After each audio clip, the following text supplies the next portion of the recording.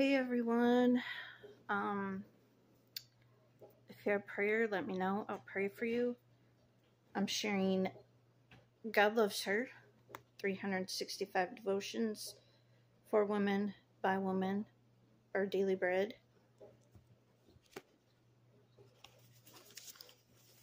Grace. Say hi, Grace. Can't really see you. Lighting's kind of bad over here. Maybe I should sit in a different spot. Kind of can't. The lighting over there. Come here, Grace. Oh, look at her. Grace.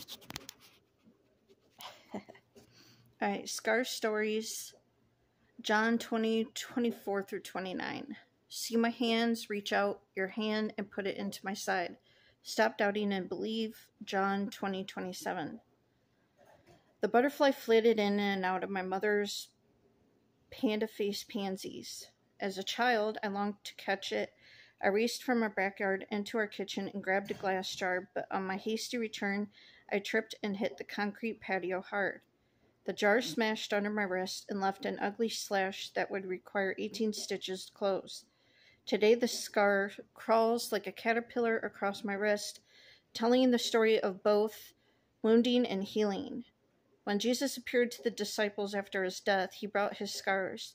John reports Thomas wanting to see the nail marks in his hands, and Jesus inviting Thomas to put your finger here, see my hands.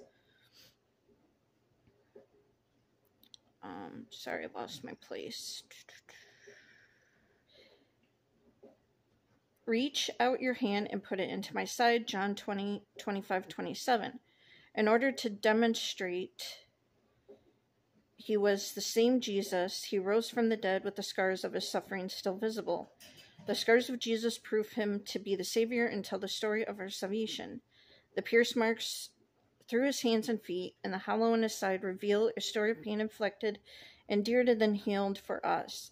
He did it so that we might be restored to him and made whole. Have you ever considered the story told by Christ's scars by Elisa?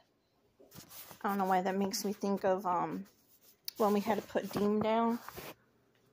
And I don't know if you haven't heard that song, uh, some about the only scars you'll have anymore are the ones in the one, um, are in the arms of the one holding you. And we were getting ready to go put Dean down, our husky we had, and that song came on, and I just started like bawling, but that's what it made me think of. All right. I hope you guys have a blessed rest of your Monday and God bless.